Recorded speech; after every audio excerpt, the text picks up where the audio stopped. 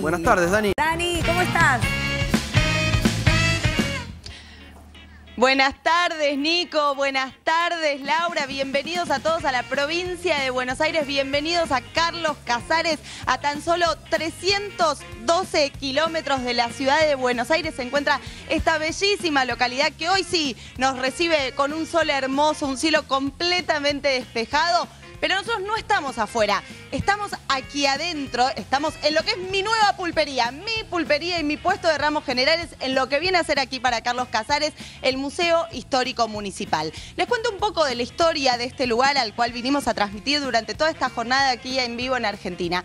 Carlos Casares, hacia 1891, como la mayoría de los pueblos y de los lugares de la provincia de Buenos Aires, sufrió, o mejor dicho, fue logrando un asentamiento de diferentes comunidades, diferentes personas a, las cercanías de lo que es el ferrocarril Maya. A tan solo 17 kilómetros más o menos de ese ferrocarril, de ese ferrocarril se instalaron una colonia de inmigrantes judíos que provenían de Europa.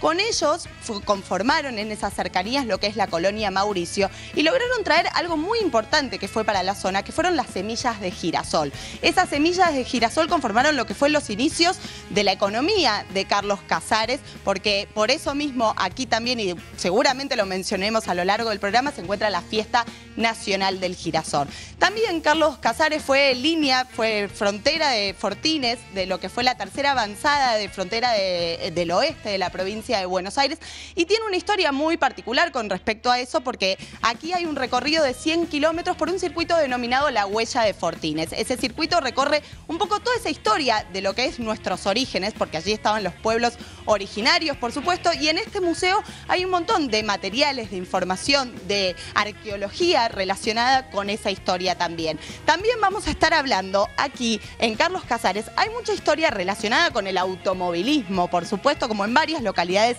de la provincia de Buenos Aires, que la mayoría son aficionados a este deporte. Aquí residió durante mucho tiempo de su vida Robert Mouras, ¿no? Mouras que fue un piloto muy reconocido por todos, que todos seguramente conocen su historia. Bueno, él aquí tiene su museo, logrado seguramente por un montón de amigos que cumplieron ese sueño después de su primer aniversario de fallecimiento. Vamos a estar hablando de eso también aquí porque es muy importante para todos ellos.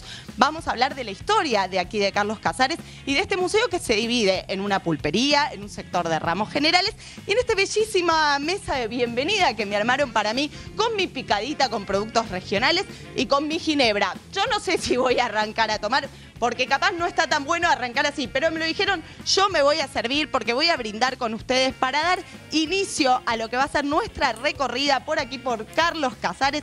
Brindo con ustedes que están del otro lado, brindo por el, el inicio en la televisión de la banda de Nico Pauls que voy a estar escuchando a través del móvil. Nosotros nos vamos a quedar aquí en Carlos Casares porque hay mucho por conocer, hay mucho por visitar y seguramente en un ratito volveremos con ustedes para hablar de toda esta bellísima historia que tiene la colonia Mauricio, las huellas de Fortines, el Museo Histórico Municipal, el Museo Mouras y algo muy interesante también, esto como un dato de color que les cuento. Aquí se encuentra una plaza, como muchas plazas de las que ustedes seguramente han visto en algunos lugares, que es una plaza inclusiva, una plaza para chicos que tienen discapacidades diferentes, capacidades diferentes. Bueno, aquí hay una plaza también para aquellos, para que todos se puedan divertir de la misma manera. Así que brindamos por eso, brindamos por Carlos Casares, brindamos por la banda de Nico Pauls y nos quedaremos aquí bajo este cielo hermosísimo para reencontrarnos en un ratito nada más porque hay mucho por conocer de nuestra provincia de Buenos Aires. Gracias, Dani.